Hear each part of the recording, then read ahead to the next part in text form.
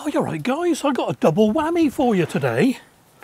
Now, I've been using my one of my heat mats, seedling heat mats, to proof my bread. Proofing bread, it's the final rise. It's called the proof. It comes from the French, but I'm not going to try and pronounce that. So anyway, I went on Amazon looking for a heat mat, and I found this one. I'll tell you what, I'll leave a link in the description below. Um, heat accelerator mat. Anyway, what it is, what it is,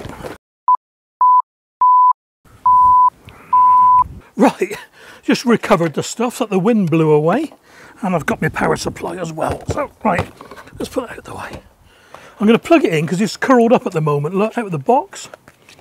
It's going to, uh, yeah, let's untangle it. Very tangly. There we go. Right, let's plug it in for you. Okay, I've plugged it in. It's drawing 30 watts. 32 watts of them. I want it to warm up to flatten out a little bit. Right, back on track.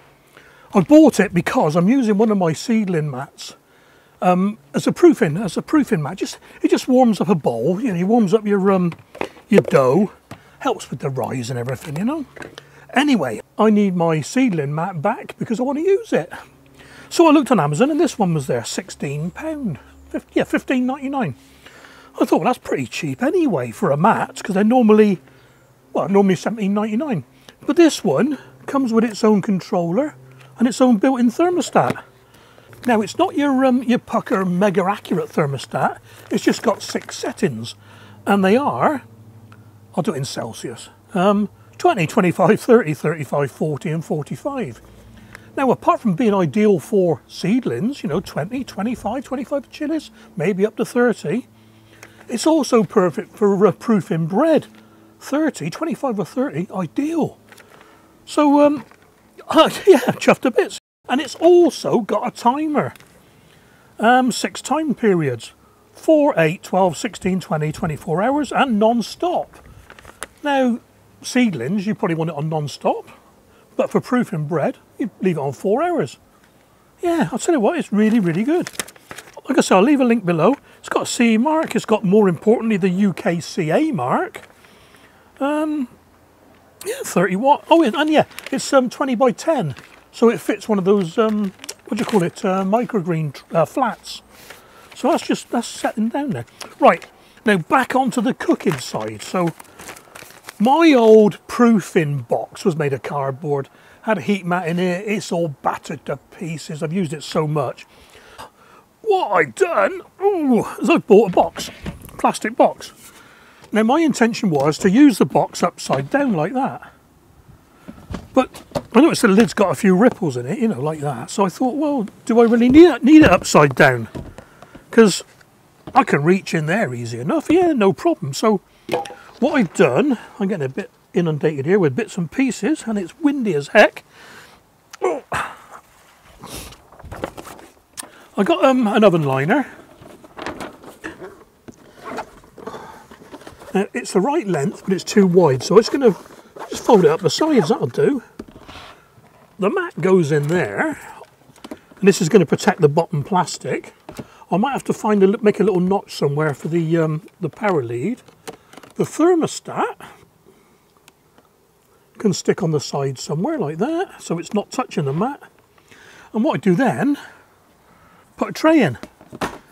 So the tray is in there getting nice and warm. You can do your first and second rises in your bowl. And then when you shape your loaf, knock it into the tins. Tins fit perfect. And you can get you can get two in there, so you can do like a kilogram at a time, 900 grams or whatever. I think that is absolutely ideal. And it's also perfect for uh, raising and proofing your um, your sourdoughs, you know. So I tell you what, I am really chuffed with this. The box was a fiver. The oven liner I had the tray I had, the, the tins are mine anyway, that come from a charity shop at £1.50. Um, yeah, 16 quid for the thingy, so 21 quid, I've got my own proofing box. A decent proofing box as well. So I'm looking forward to using that.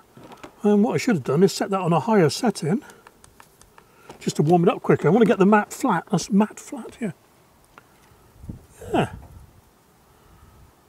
Well, I hope, I hope that's pretty useful for you guys, you know? I mean, yeah, that's, that's all right, isn't it? The other thing as well is the box itself's big enough, the mat's big enough. If you wanted to, you could put a little tray in there for a um, bit of uh, humidity. One of those little Chinese takeaway containers, put it in there, a bit of warm water, keeps it nice and moist in there. Stops the top of the dough going all, uh, you know, air hardened. You can feel the heat, you can feel the warmth in there already. So I hope that's helped you guys. You know, anyone who makes their own bread or any leaven product, anything that needs rising, you know, Chelsea buns or whatever. Yeah, brilliant. Right, I'm going indoors now because it is absolutely bitter out here. Nearly time for the sun to come over. Yeah. Hope you enjoyed that one, guys. Catch you soon.